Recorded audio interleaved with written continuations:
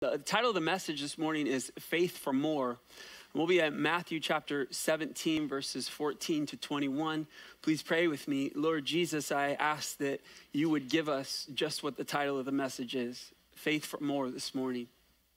Despite what closed door we've uh, come to or uh, the place potentially that we've come to in, our lives, we're, we're realizing that we're not enough. Lord, I pray that you would uh, take up right there because you are more than enough. And so, God, in that we ask, Lord, for faith for more today. Faith for more of what you have for us. Faith for more of what you have in store. We love you in Jesus' name. Amen. Well, I remember the day very vividly. It was the day that I got my learner's permit. You see, I had gone, I had studied the book, I went to the DMV, I passed the test, and upon passing the test, I thought that the world was at my fingertips. It was at my fingertips, and also someone who would sit in the seat opposite me uh, and help me learn how to drive. But you see, that day I was feeling so good, there was really nothing anyone could tell me. I was just ready to hit the open road. And so I got home uh, from passing the test, and uh, living with my aunt and uncle at that time, my uncle handed me the keys to his truck and he said, Are you ready to go to the store? Oh, you better believe I'm ready to go to the store. So we hop in the truck, and one thing that had escaped me at that particular moment was that the truck had one of those transmissions called a manual transmission that you had to shift. There was this thing called the clutch, and they didn't have that in the book that I had studied about exactly how to do that. It was rules of the road. And so we got into the truck, and he began to tell me how to drive a stick shift. Mind you, I'd never done so before. But even though he was telling me how to drive it, you see, I had just passed the test. So some of the things that he was saying were just kind of going in one ear and out the other. I was ready to hit the streets going. And so we started, and he got me off starting. And starting was kind of an issue as we kind of clunked through the road. If you've ever driven a manual, you know what that's like. But then we got onto the road, and everything was good until we came to a stop sign. We came to a stop sign, and it was on just a subtle little incline. And what I noticed was as soon as I let up on that clutch, what's happening? The, the, the truck is, is going a little bit backwards. And Uh, I'm a little bit turned around myself because I've never been in a situation like this. And so he's kind of saying, Are, are you ready to listen to me now? yeah. I'm ready to listen to you now. But you see, when I was at that stop sign, when I was in that place, it was a little too late. I should have listened to him when he was giving me the tips or, or even had, uh, you know, enough understanding that I probably shouldn't hit the streets in this way. As cars are going through this four-way stop and the cars behind us are honking at us, wondering why a driver like that is on the road, lo and behold, one of our friends drives by and is pointing and laughing as I'm trying to get through this particular stop sign. And ultimately, we made it through. And so I was so focused on that, I nearly hit several cars on my right hand side. We made it to the hardware store. And when we got to the hardware store, he says, Did you learn anything? I learned that TriMet's not so bad after all that maybe TriMet is the place for me. Maybe I was just destined to be uh, someone who rides the bus. And it was at that particular point that I'm telling you the truth. I almost said, I'm done with driving. You see, what was happening was I wasn't drawing from the one. I wasn't willing to continually hear what he had to see as I was going down that street. And because of that, I found myself in defeat. As we pick up in Matthew chapter 17, we find the disciples in a, place of defeat. They had been given the power in Matthew chapter 10 to go about and, and heal and preach and teach and cast out evil spirits. Yet here in Matthew 17, they're not able to do so. The ultimate reason is because they weren't continually drawing from the source that they needed to draw through. And at that point that they had come to, when they come to this particular stop, it's a little bit too late at that point. And so Jesus points them to the most important thing that they would need to know. You see, he's about six months before he was going to go to the cross. Uh, sacrifice his own life in place of ours and theirs. And the most important thing that they would understand was faith. And so Jesus wanted to point them toward more, faith for more in their life. And I trust it will be an encouragement to you this morning as well. If you would, please open with me in your Bibles to Matthew chapter 17, and we're going to read verses 14 to 21.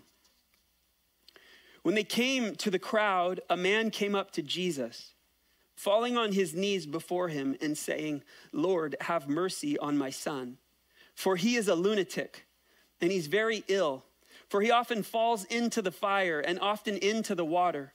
I brought him to your disciples, and they could not cure him. Jesus answered and said, You unbelieving and perverted generation, how long shall I be with you? How long shall I put up with you? Bring him here to me. Jesus rebuked him, and the demon came out of him, and the boy was cured at once. Then the disciples came to Jesus privately and said, Why could we not drive it out? He said to them, Because of the littleness of your faith. For truly I say to you, if you have faith the size of a mustard seed, you will say to this mountain, Move from here to there, and it will move, and nothing will be impossible to you. But this kind does not go out except by prayer and fasting. The man in this story had brought his son who's possessed with an evil spirit, possessed with a, a, a, demon, to the disciples in order for his son to be healed, so that the disciples could cast that out. But the disciples find themselves perplexed and puzzled by the outcome. The place to which they had come, whatever was plaguing the man's son, was more than they could manage. It was more than they had come up against. Jesus, as I mentioned, had previously given them the authority, but at this particular point, their efforts fall flat. Their faith, it faltered. Faith, we know, means a belief, a trust in God, taking Him at His word and responding to that faith. It seems to be the last thing, however, on the disciples' minds. He uses, however, Jesus does, their lack of faith as an opportunity to show them their inability was not a closed door, but an opportunity for him to point them toward faith for more. You and I, in our lives, we find ourselves puzzled, perplexed at some of the situations that we come up against. Why are things going the way that they're going? Why am I up against what, I'm up against? Why are things not working out the way that I would like them to? And we find ourselves overwhelmed by the weight of that rather than keeping our focus fixed on faith in Jesus. Jesus had shown the disciples time and time again no matter what situation would come, there was hope in his hands. And for you this morning, no matter what you're facing, no matter what puzzle you're trying to put together, Jesus has given more, more than enough to show you that there's hope in his hands. If you're facing a closed door, he has more in store. And I encourage you to have faith as well in Jesus for more. And no matter what you're currently carrying or up against, bring it all before Jesus. Bring it all before Jesus. Bring that perplexion, bring that puzzle, bring that closed door to Jesus. What do we see here in verse 15? This man comes to Jesus, and we understand that the disciples were there. The disciples had tried to heal his son. The crowd came up, and this man comes to Jesus on his knees, saying, Lord, have mercy on my son, for he is a lunatic. He is very ill. He often falls into the fire, he falls into the water, and I brought him to your disciples, and they could not cure him. I brought him to your disciples, the people who were out preaching and teaching and ministering in your name, and they could not help him. I'm asking you, Lord, for mercy. I'm asking you, Lord, for your help. I want you to understand the term there. It says, for he is a lunatic. That word lunatic actually uh, depicts someone who, in that day, they believed if someone stared at the moon too long, luna, moon, they believe if someone stared at the moon too long, they would become a lunatic or moonstruck. They would be glossed over by looking at the moon. And so there was this ancient belief that madness was caused by the influence of the moon. So he says, My son is a lunatic.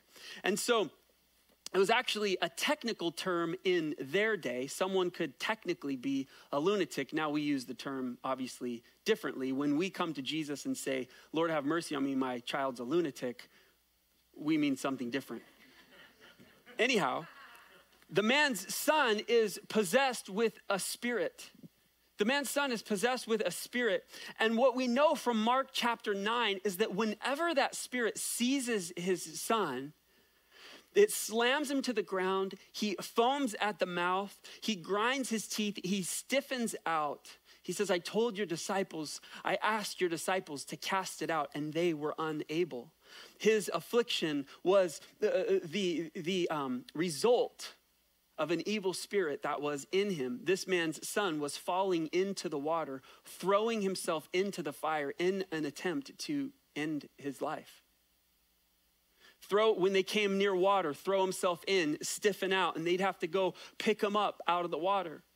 You imagine what this father's life was like with a son who is plagued by this and this is the way that that evil spirit was revealing itself in the son's life. And the son's throwing himself here and there and the man is struggling. His son very ill. His condition more than psychological more than mental. It was spiritual his condition spiritual and the father's desire was for healing for his son. And so where does he go? He goes to the disciples. We read actually in matthew 10 verses 1 to 2 that, that, that place where jesus had given his disciples authority.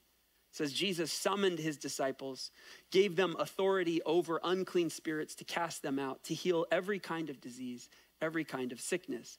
We also know that what this man was asking the disciples to do was something that they had already done. In Mark 6, 12 to 13, they went out, preached that men should repent, and they were casting out many demons. They were anointing with oil many sick people and healing them. So the Father brings his heavily afflicted Son to them, however, they are unsuccessful. And so, as Jesus approached the crowd, this man runs to him. He kneels down before him and he says, Lord, have mercy on me. Have mercy on me. I brought my son to your disciples and they were unable to help. They could not cure him, verse 16 says. And seeing the scene and hearing what the man had to say, understanding the authority that he had given to his disciples, and the fact that in that moment they were unable to appropriate it by faith, Jesus responds to his disciples, to the generation, and then to the man. What does he say? Jesus said in verse 17, You unbelieving and perverted generation. How long shall I be with you? How long shall I put up with you? Bring him here to me. And Jesus rebuked him, and the demon came out of him at once. Jesus rebuked that evil spirit and Jesus is here circling the lack of faith of the disciples. He speaks to the crowd, he speaks to the disciples, and he speaks to their lack of faith, that they were unbelieving. And that term, uh, perverted, that means something today that uh, what he's referring to here was something differently. He's talking about spiritual perversion. That word uh, perverted in the Greek, uh, diastrepho, which means to be bent or twisted in the wrong direction, to be oriented toward the wrong thing. And he's talking about a spiritual perversion that plagued their day. People were oriented in the wrong direction. And some of you may think, well, that sounds familiar. We know that we too live in a generation that is often plagued by unbelief. Jesus is calling that out. Jesus puts his finger on the problem, and the disciples are staying there, and Jesus puts his finger right on the problem. And in our lives as well, Jesus does that, doesn't he? He puts his finger right on the problem. And we always like it when Jesus puts his finger on someone else's problem. But when Jesus comes and he puts his finger on our problem, we're like, oh, thanks. Jesus. Single me out, you know? But, but Jesus needed to call this out because the foundation upon which the disciples needed to be built was what? Faith. I'm going to ask that question again. The foundation, I got to set you up for that. Faith is the foundation. The foundation upon which the disciples needed to be built was what? Faith. They needed faith and trust in him because he was six months away. He was six months away from uh, his death, burial, resurrection. They needed faith and trust in him and in who he was. But when we get uh, the finger pointed at us, the focal point, when it becomes centered on the things that we are not, the place that we're lacking, the place that we're looking to is not the right place, that never feels good. When I was in high school, uh, I, I made the team my sophomore year and I made the basketball team. And so I was out there playing on the basketball team, and I didn't get a lot of minutes on the basketball team. But you see, one really interesting thing was that in our league, there was a, a school. So I went to Aloha High School, Go Warriors. But there was a school in our league called Jesuit. And yeah, boo, I know, right? What's up with Jesuit? Anyway, Jesuit at that time had an absolute stud basketball player on their team. His name was uh, Michael Dunleavy. And he ended up going to play Duke. He ended up going to play in the NBA. He would always light us up for like 50 points. Anyway, Michael Dunleavy's dad was the coach of the Portland Trailblazers. And so we're playing Jesuit. And I get in the game, and Coach Dunleavy from the Blazers is over there on the bench. And I felt like I needed to show Coach Dunleavy, you know, my game a little bit. And so we're going up and down the floor. The coach finally puts me in. You know, like I, I, had to really cherish the time that I got in there. And so he threw me in there. And so I'm going in and I'm playing the game and I'm trying to make something happen. You know, like we're getting blown out by these guys. I got to get in there and make something happen. And three times down the floor, I'm just, I, I don't even know what I was doing. I was just running around trying to make stuff happen. Now, we had spent a lot of time uh, in tryouts and through practice learning the plays that we were supposed to run. But three times down the floor, I didn't run the plays. I'm like, someone's got to do something here. It might as well be me. I got to show Coach Dunleavy a few things. And I go three times down the floor. Well, guess what happens? The coach pulls me out, singles me out, and says, You didn't run the plays three times down the floor. So the rest of the game, Coach Dunleavy didn't get to see my talents. I think that, you know, really speaks to the way things turned out in my life. No, I'm just kidding. But you see, the coach had a plan, and Jesus has a plan, and Jesus knows the importance of faith. And so Jesus is trying to draw out that faith in his disciples. And so he says, You're turned in the wrong way. You're focused on yourself. You're, you're, focused on the things that, that you can do, the things that man can do. You're oriented in the wrong direction. And sometimes in the things that we pursue, I would say a lot of times in the things that we pursue, we're oriented in the wrong direction. We're walking by sight, not by faith, even though we know the scripture says walk by faith and not by sight. And so Jesus is saying, You're oriented in the wrong direction. You've seen it all. Now focus on faith. And so, after addressing the generation, after addressing the disciples, here's the words, and we got to catch it. Jesus says, Bring him here to me. He says, Your disciples weren't able.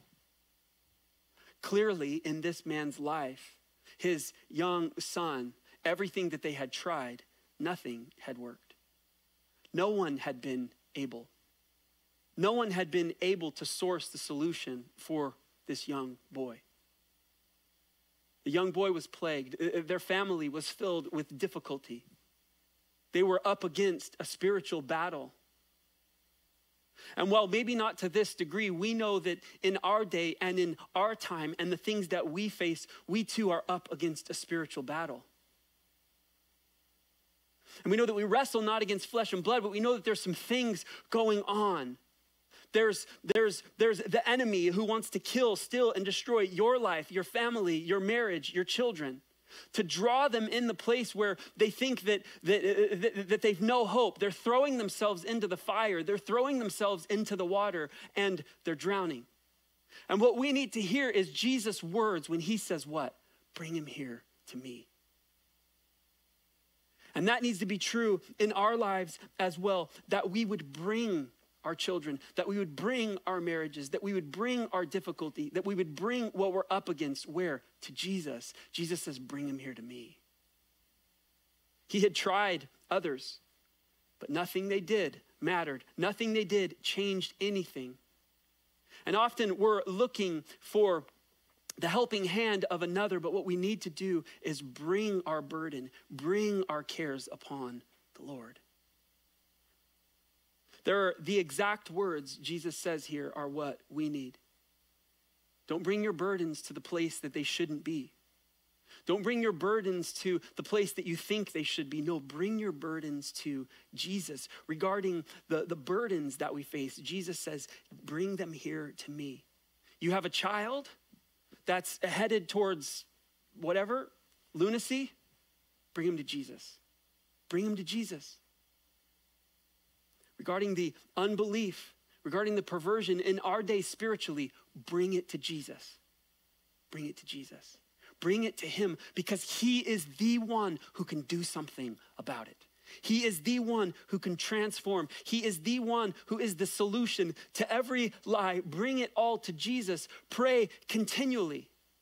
If you have a, a child that's headed in the wrong direction, bring them to Jesus. Keep pointing them toward Jesus. Keep bringing them to church. Keep surrounding them with Jesus. Keep pointing them to the place that you know that they should be. Jesus says, Bring them to me. Bring them to me so that maybe even if right now they don't have eyes to see, one day they may that, that your children, that your family, that they can see you running the race. Bring them to Jesus. And sometimes people say, oh, well, I tried the church thing. And I brought my kid to youth group and, you know, they weren't really into it.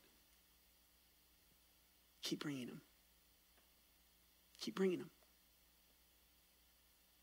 Well, you know, I brought them to church on Sunday and, you know, they kind of slouched down and they weren't really into it. It's just not their thing.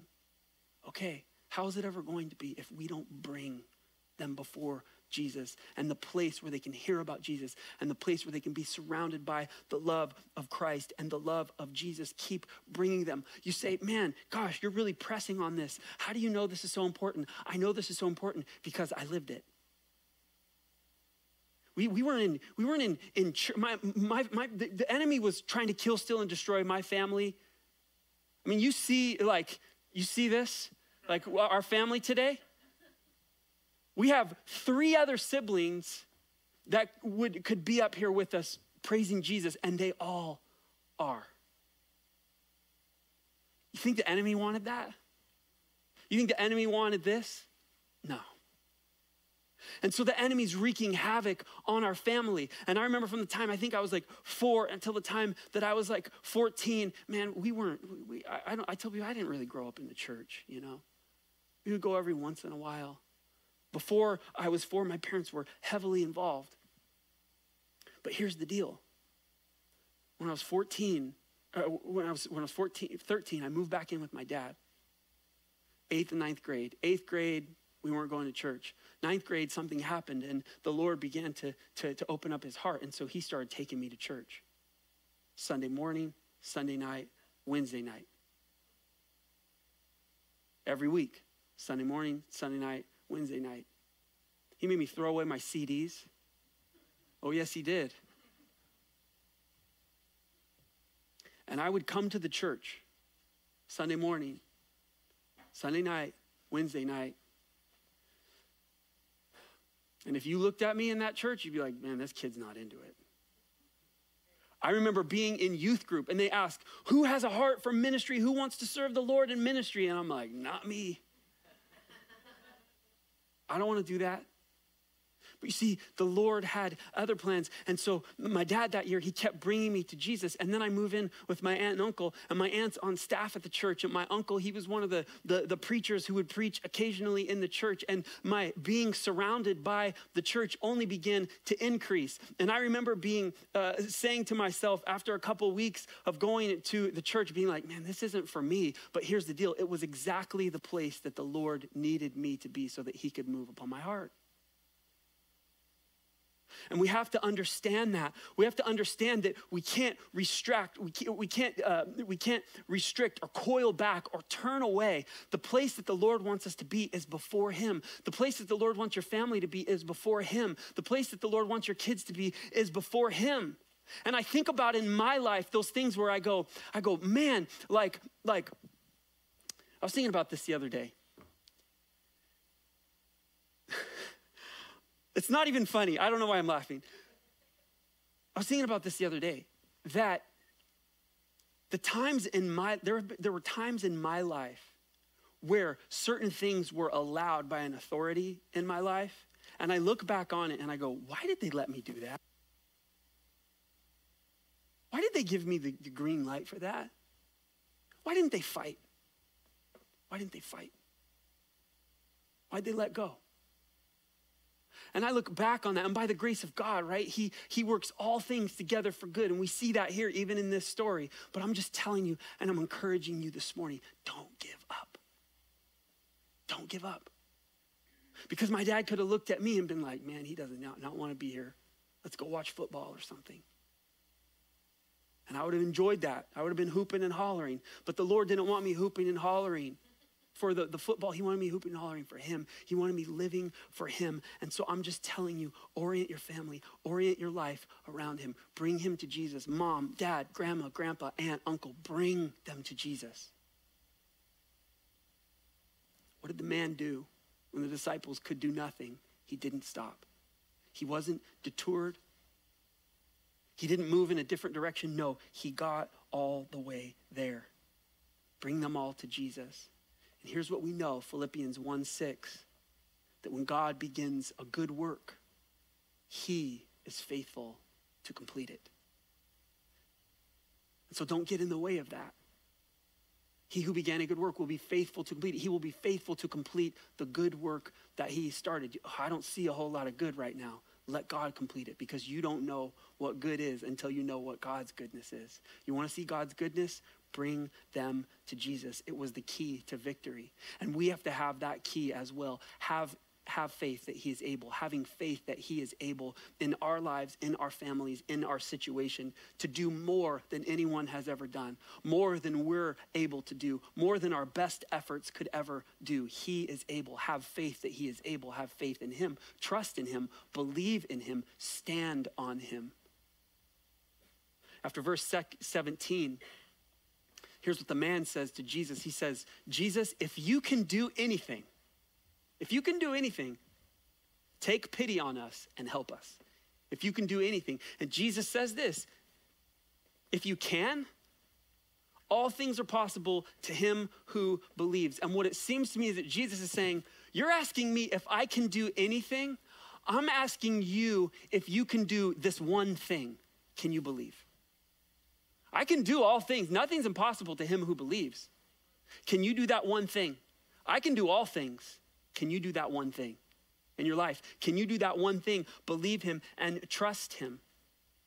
And here's what the man says I do believe. Help my unbelief. And, and, and you know what? I appreciate that answer because I think that many of us can relate to that. I, I do believe, help me in my unbelief. And Lord, I'm asking you for more, but I know that I need so much more. And so help me in my unbelief. And what did he do right then and there? He healed the man's son. Help me in my unbelief. Lord, is there, is there a place in your family, in your life, where you're, you're struggling to believe, you're struggling to see? Lord, help me in my unbelief. I believe. Will you help me? Will you help me to walk by faith and not by sight? That would not only be a lesson for the Father, that would be a lesson for his disciples. Because what we see is as the, the situation changes, the disciples go to Jesus privately. And what do they say? They say, Why could we not drive it out? Why couldn't we do this? You see, we've done this before. We had a formula, we did this, it works. It works, but it didn't work here. Why couldn't we drive it out? And Jesus responds quick because of the littleness of your faith. Because you did not believe because you did not believe, because you did not rely on faith in me. The disciples had been given that authority. We talked about that. But we also have to understand that there are many things that we want to see. There are many things that the Lord wants to do, even in our day. But the object of our prayers have to be our faith. What did they say? I think the key is in what they said. They said, Lord, why were we not able to cast it out? They needed to be focused on He, not we. And we need to be focused on He, not we. He is the object of our faith. He is the one that we come to. It's His It's faith in Him, not just faith in faith, not just faith in self. No, it's faith in Jesus. It continually has to be He, not we. And He points them to their lack of faith. And we see that in and throughout Jesus' ministry. In fact, we see when a synagogue official named Jairus comes to Jesus. And he comes and he says, My, my daughter is near death. Would you come? Would you come and lay hands on her? Would you come and touch her so that she can be healed? And so Jesus goes. Now, while he's on his way, there's some interruption. There's a woman who comes. She needs healing. He stops. He's looking for her. There's a delay in the time. And at the end of that time of ministry with the woman, there's some men who come from the synagogue official's house and they say to the synagogue official, Jairus, they say, Your daughter's dead. Don't bother the teacher anymore. Don't bother the teacher anymore. You know what Jesus said to him? He said, Don't be afraid. Just believe. Don't be afraid. Just believe. You think your child's dead? Don't be afraid. Just believe. You think it's all over? Don't be afraid. Just believe. You have to have faith that He is able. You think your marriage is over? Don't be afraid. Just believe. Trust in Jesus. Let Him lead. And what did He do? He went to the house and He walked into the house, and there were the wailers wailing and the criers crying. They were professionals. They actually had that back then professional wailers to make you feel good about your grief. Anyhow, they're in there, the wailers wailing, the criers crying. Jesus says, She's not dead. She's just asleep. And they start laughing at him. Jesus moves out the mockers. When the mockers moved out, he healed her. You might need to move out some mockers in your life. Some people who are coming against what the Lord wants to do, telling you that it can't be done. These people coming from the house saying, She's dead. These people saying, Your marriage, it's dead, it's over. No, that's not what Jesus says. He says, Don't be afraid, only believe. And so when you bring that to Jesus, you have faith that He is able, that He is able to do what only He can do in your life. Here's the deal. In Matthew chapter 13, 58, we know that Jesus went back to Nazareth. It says he did not do many miracles there. You want to know why? Was it because of their sin? No. Was it because he was tired? No. It's because they didn't believe because they didn't believe. So we got to believe that God is able. And we have to trust him in that. Faith, the Bible's filled with it. The Bible is filled with it. It was faith that caused Caleb and Joshua to go into the land of Canaan and see giants and say, This is a land that God could give us, but the others didn't believe. It was faith in God's care that caused Job to, to, to say these words Though he slay me, I will hope in him. It matters not what's happening. Faith in God that Shadrach, Meshach, and Abednego could stand at the edge of a fiery furnace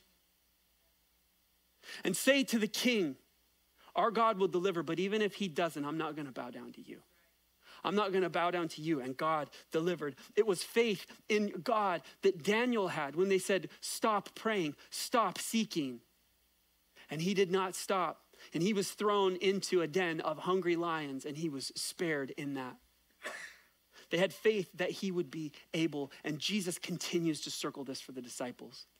He told them in Matthew 6 have faith that he is able to provide for your needs, that he's able to provide clothing and food. Don't worry about tomorrow. Today has enough trouble of its own. He talked to them regarding their faith in the middle of a storm while he was sleeping. Why did you doubt? Regarding Peter's fear of falling while he was walking on water and their concern about not having enough bread when they're on this trip with Jesus, even though they had seen him feed 5,000 and 4,000 plus women and children. Now they're on a trip with Jesus and they say, We don't have enough bread. And Jesus says, Will you stop talking about bread? Sorry, he didn't say it that way, but you, you, you get the idea. I can provide bread. I can do this. I'm the healer. Will you have faith in me? Just have faith in me. Faith is not what we bring to the table, but we also know Hebrews 11 6 that without faith, it's impossible to do what? It's impossible to please him. For he who comes to him must believe that he is that he is a rewarder of those who seek him. And I'm convinced that, that there are things in our lives that, that we're not coming to the Lord, bringing those needs before him What does the scripture say? You, you have not because you ask not. I believe that there are things that the Lord's just waiting for us to go to Him, believing with faith, and He wants to give those good gifts to us. Roman, uh, I'm sorry, Hebrews 12, 1 to 2. Let us run the race with endurance that is set before us, fixing our eyes on Jesus, the author and the perfecter of faith. What was going on with these disciples is that they were not staying connected to the source, and we have to stay connected to the source. When we're up here on worship team, we have these little boxes. These little boxes here. I don't know if you can see it, but you see these blue. Oh, here's a higher one. We have these blue boxes here. And this is like, you know, when I was coming up, we had these floor monitors, but now we don't. We have these little boxes. And so we have to plug in here, and then we all have these little connections on our belt. We have to plug in those connections, then we have these headphones, and that's how we hear everything up here. And there have been so many times where I've come up here to lead worship and I'm like, I don't hear anything. Something's broken. Something's not working. And the sound people are like scrambling, like, oh no, you can't hear anything. And so we're trying to figure out cables back here. We're trying to do the, the whole thing. And lo and behold, someone will come up to me and they'll say, Samuel, you're not plugged in. You're not plugged in right here. I'm like, well, I was just testing you guys. But catch this. I mean, there's things that we're not seeing. There's things that we're not believing for. There's things that we're not trusting the Lord for. And we're coming up into a stop sign and we're going backwards, not forwards. Why? Because we're not connected to the source. We have to stay connected to the source, to walk by faith, not by, by sight. To know Philippians 4:13, I can do all things through Christ who strengthens me. Jesus reminded us in John 15, 5, I am the vine, you are the branches. He who abides in me, I in him bears what? Much fruit. But apart from me, you can do nothing. And we also know Ephesians 3:20, it's him who is able to do exceedingly abundantly, far above all that we could ask or even think. But we come to the stop sign. And if we're not connected to the source, we're going to go backwards, not forwards. In Joshua 6, we see the, the Israelites come to this territory. It was a, a, a, territory, a city with inconquerable walls, Jericho. And then we see uh, a pre incarnate visitation of Jesus come and visit Joshua, he gives him the plan of attack. What was the plan of attack? I want you to go walk around the city once per day for six days, and on the seventh day, I want you to walk around it seven times. This was the plan that he had given to Joshua. Now, he gives the plan to Joshua, and then he says to Joshua, and then those walls are going to fall flat. But when Joshua gives the plan to the people, he doesn't say that the walls are going to fall flat. He just says, This is what we're going to do. And so these guys are walking around these walls for six days and seven times on the seventh day. And after the seventh time on the seventh day, the walls were going to fall flat. But what were they walking around up to that? They were walking next to these big, huge walls. And maybe you feel like you're circling these big, huge walls in your life. And the, each time that you go around, all they look to you is bigger and harder and more difficult and more inconquerable. But here's the deal had the Israelites stopped on day six, they wouldn't have seen what the Lord wanted to do. You can't stop on day six. Go all the way, trust, walk by faith and not by sight. say, man, nothing's happening. Can you picture that with me for a moment? Nothing's happening. Can you imagine that these were the men of war who were going out circling the city of Jericho, and then they go back to their house and their wife's at home. How'd it go today? Well, we walked around the walls. Day two, how'd it go today? Anything happen? Nope. Day three, don't ask. day four, day five, anything? Nothing? Day six, day seven, one, two, three, and maybe you feel that way in your life. Anything happening? Boy, keep walking. Keep walking. Keep pursuing. Keep uh, following the Lord. Keep trusting Him. Trust in the Lord with all your heart. not on your own understanding, because in our understanding, all we see is inconquerable walls. In his own understanding, all this dad would see is inconquerable walls. Same with the disciples. But what does Jesus say? He says, if you have faith as a mustard seed, if you have faith as a mustard seed, you can say to this mountain, move from here to there, and it will move, and nothing will be impossible to you. But this kind does not go out except by prayer and fasting. What do we need to do? We need to keep seeking the Savior. Trust that He is able. Have faith in Him. Keep seeking the Savior because even uh, uh, faith, the size of a mustard seed, can do great things. And we understand that that mustard seed, we looked at that, that's a growing faith. That mustard seed is a growing faith, but you see, it starts small. And the picture here that we get is not this great faith in a small God. No, we're talking about faith in the great God. I need faith in Him. Lord, I believe, help my unbelief. And as we go, we grow so that we can grow through what we go through. We know that it's the smallest seed, the mustard seed, yet when it grows, it's the largest of all the garden plants. It becomes tree. And Jesus says, if you have faith the size of a mustard seed, you can move a mountain from here to there. Nothing will be impossible to you. So, why isn't Mount Hood in my view? I want Mount Hood. I want a view of my house of Mount Hood. But Jesus isn't talking about that there. We've never, in history, Jesus never moved a mountain from here. He's not talking about Mount Hood going into the Columbia River. What he's talking about is great obstacles. The great obstacles that we face. And that was a figure of speech that was used actually in their day. That you could, over, someone who could overcome great obstacles was a person who could move mountains. Jesus is talking about that great faith, the things that we come up against, the walls, the difficulties, the stop signs, the closed doors. And in verse 21, Jesus indicates something that I think is really also important for us to catch. In the book of Mark, uh, we see that he says this kind only comes out by prayer. Here we say, here he says this kind comes out only by prayer and fasting. Interestingly, Jesus didn't pray here. He didn't stop for a time of prayer. He didn't stop for a time of fasting. And so, what is Jesus talking about? He's talking about a life of prayer and fasting.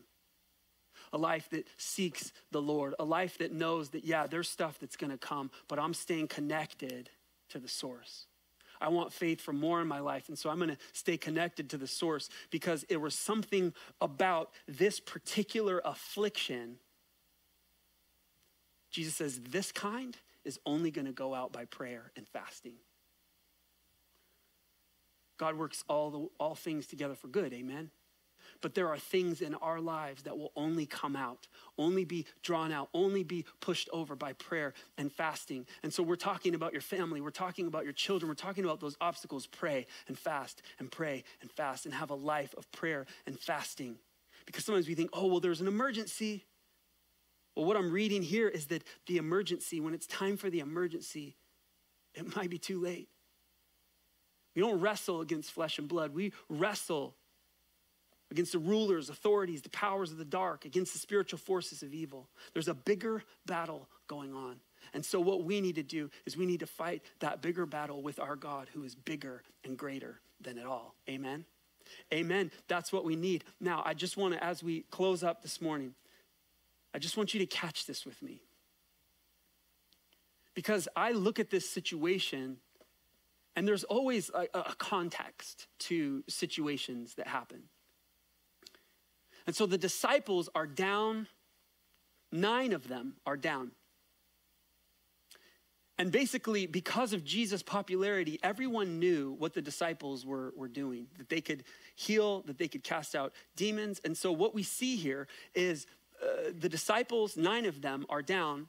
This man brings his son who's afflicted. They're unable to do it. And what starts happening? Arguing starts happening. The scribes come, they start arguing with them, probably something surrounding miracles or whatever. The crowd's up in a stir. Where was Jesus, Peter, James, and John? They were coming down from the Mount of Transfiguration, they were up in glory. But what the other nine were experiencing was a different story. And so I don't know this to be true, but as I read this scripture, I put myself in their shoes. And you have these other guys who are up in glory. Man, they're with Moses, they're with Elijah, they're with Jesus, like they're seeing him radiate. And for these other guys, they're having a different story down below. Why weren't they praying? Why weren't they fasting? Why weren't they seeking the Lord? And if it were me, if I put myself in their shoes, I think one of the things that I would struggle with in that moment was that feeling like everyone else is getting the glory and I'm stuck down here surrounded by lunatics, arguments, difficulties, struggles. Man, what am I? Second rate? What am I? You never take me up for the glory. I never get to go see Moses and Elijah. I never get to go do those things. And in our lives, we start to do the same. I'm not being used. I'm not being blessed. Look at everyone else. And what do we do over time? We start to turn away from the Lord, turn away from our times of seeking, turn away from our times of prayer and fasting because things are going different than we think that they should be going. And if you're not careful, you stop persisting in prayer. If you're not careful, you stop seeking the Lord and you come away and you uh, close the door to the Lord and you open the door to the world that you are surrounded by. But what does Jesus say? He says, This kind only goes out by prayer and fasting. That means that there are hurdles, there are battles that we need to know will only go out by prayer and fasting. And so, for you this morning, if you're in that place, you've, you, have you have turned away You've gone in a different direction. I have a question for you that Paul asks in Galatians 5 7. He says, You were running a good race. Who cut in on you to keep you from obeying the truth? Because the truth is, is that we need him every hour. The truth is that we need faith for more. The truth is that he has great plans. The truth is that he works all things out for good. You say, man, I don't see a whole lot of good. But think about this this man in this story, his son is unable, they're unable to heal the man's son. And so what happens? The man brings him to Jesus. Jesus gives this encouragement and faith to his disciples and for you and for me today. Had that not happened in that day, we wouldn't have this scripture right here. We think, man, the disciples had it, and we don't. No, they faced it as well.